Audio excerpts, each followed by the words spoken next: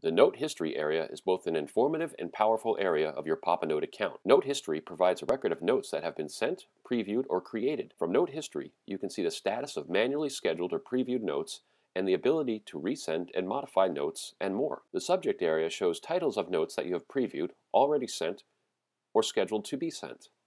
Click the title to review the note. The action column gives you the ability to edit notes, send the notes to yourself, resend the note to anyone who has not yet received it, and check the delivery stats for the individual note. Click on the social media icons in the Share column to post the notes to your own social media sites. Once you click the icon, you will be prompted to log in to your social media site. The Deliveries column shows the date the note was sent or is scheduled to go out. If the note is scheduled to be sent, the word Approved will appear along with the red Cancel icon. You can cancel the note by clicking the red circle up until the time the note is sent. If you have only previewed a note but not actually sent it, the words Note has not been scheduled for delivery will appear in the Deliveries column. Click the green arrow if you would like to schedule that note to be sent. Deliveries will also show if the note was sent by AutoSend.